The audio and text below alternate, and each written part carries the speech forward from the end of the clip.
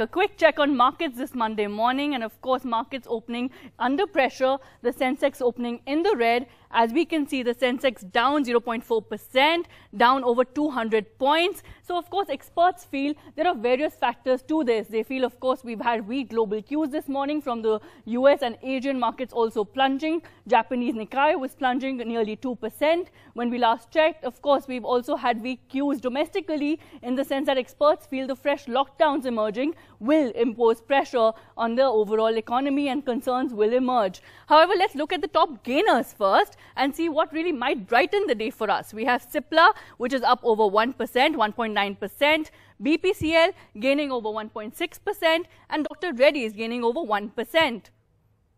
In trade, we also have Grasim Industries gaining 0.92%. We have Britannia Industries, again 0.8% up. Remember, FMCG stocks are also doing well this morning.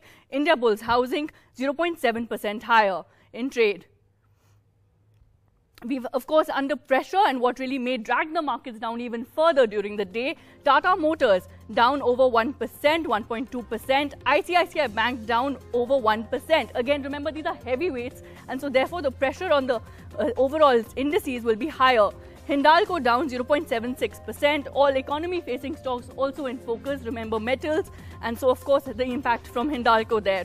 Zee Entertainment down 0.6%. GAIL India down 0.29%.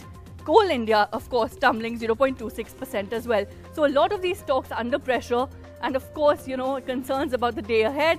Banking stocks, though, IndusInd Bank down 1.23%, ICICI Bank down 1.23%, HDFC Bank down 1.08%. So, of course, banking majors and some of the heavyweights they're facing pressure. City Union Bank down 0.8%, Bank of Baroda down 0.8%, SBI, another key heavyweight, down 0.6%. So let's also look at the metal losers now and what is dragging, you know, the economy facing stocks lower.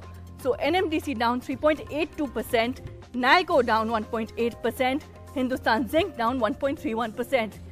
Of course, we've also seen Tata Steel, the likes of Tata Steel down 0.3%, and Coal India, Hindalco continue to face pressure there tumbling 0.3%, 0.7% each. So remember, economy facing stocks are in focus, banking majors in focus, FMCG stocks also remain in focus. The Sensex clearly under pressure even as we speak, down 0.36%, down over 150 points at the moment.